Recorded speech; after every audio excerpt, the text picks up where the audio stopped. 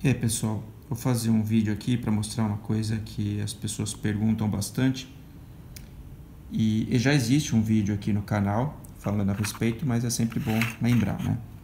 Aqui um single, extrato, né, normal. Esse captador é sempre dessa cor internamente. Esse aqui no caso é um Custom Blues, então carretel de plástico, mas se fosse de fibra seria a mesma coisa. Ele é sempre da mesma cor e o que muda é só a capinha em cima, né? Então aqui no caso, esse aqui pode usar uma capinha creme, pode usar uma capinha verde, né?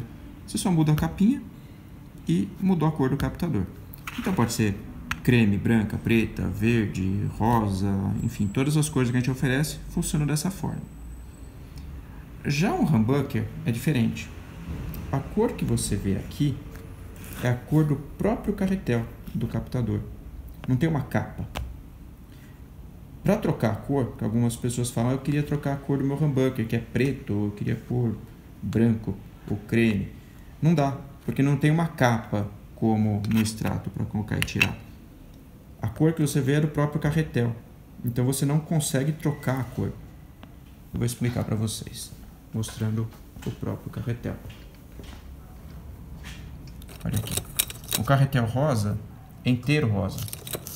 Sai assim da máquina da, da injeção. Amarelo. Né? Então, a bobina é enrolada em torno deste carretel. Então, se você quiser trocar, você teria que trocar tudo. Né?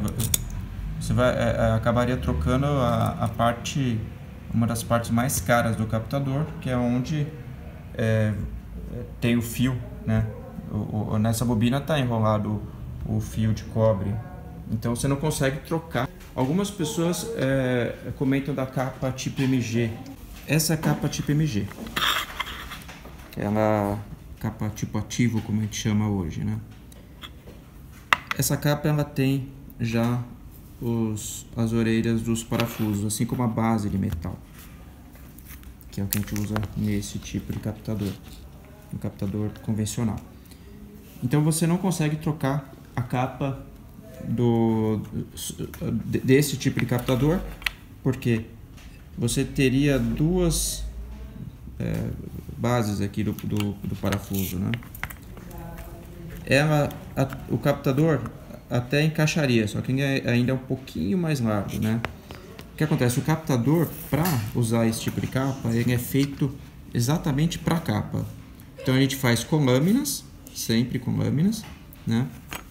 e é, ele é desbastado um pouquinho aqui para poder entrar melhor dentro da capa. Não tem a base de metal, né? E depois recebe uma, uma resina preta para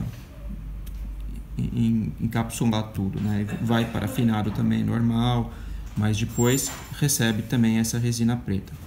Então não dá para se você pegar este captador para você colocar aqui, você teria que então tirar essa base, jogar, tirar ela, é, desbastar um pouquinho as laterais para poder encaixar melhor aqui dentro.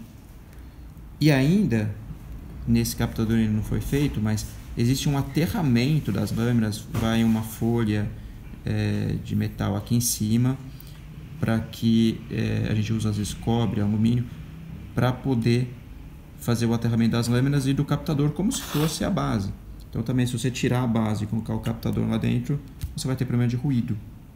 Então a única capa que você pode colocar num captador que já esteja pronto é a capa de metal. Então uma capa tipo é, cromada, dourada ou preta, uma capa de metal. As capas que a gente usa são da marca Schaller são de alpaca, que é o melhor material para capa de metal. É o que menos influencia no timbre, que, que, é, o, que é o que a Schaller usa. Né? A alpaca é a prata alemã, e a Schaller é uma empresa alemã, né? então não podia ser melhor. É isso aí. Essa é a explicação a respeito das capas dos humbuckers.